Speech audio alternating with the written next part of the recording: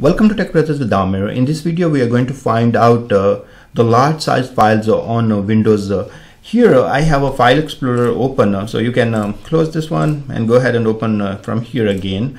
And uh, what I, I want to show you I have uh, some uh, free space on my C drive I have 32.5 GB out of uh, 117 GB but I'm interested to find all large file sizes such as maybe uh, video files audio files and I don't need them so I can delete them and I can have some free space on my hard disk so how you can do that? You will be clicking here on the search button here and the search bar right here once you click on the search bar a new tool will appear called the search tool.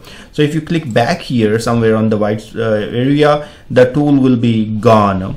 Now if you click back on the search bar again it will appear. Now let's go to the search here and there are multiple filters available for us to work.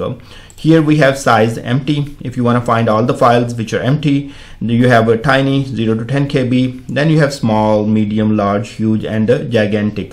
So if you click on a gigantic size that's greater than 128 MB so I'm gonna choose that one. And uh, it's it's showing size colon gigantic. Okay? So that's what it's going to show us. It's going to get us all the files which are greater than 128 MB in size. So you can see right here there are plenty of uh, files it is showing me right now. So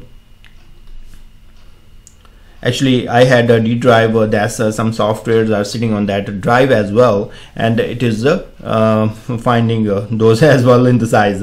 So but um, um, on C drive it will find C drive and uh, whatever the drives you have it's gonna find all the files which are greater than 128 MB in size.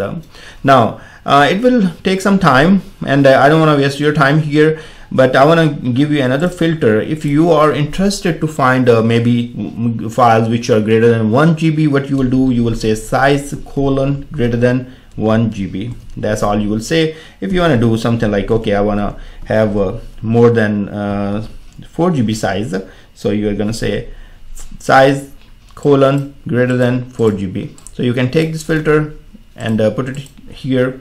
Let's uh, cancel this out. So we don't need this search anymore. But uh, it did find a lot of files for us. And these are the files I was talking about like they're 366 MB some uh, video files sitting there and I can delete them. I don't need them.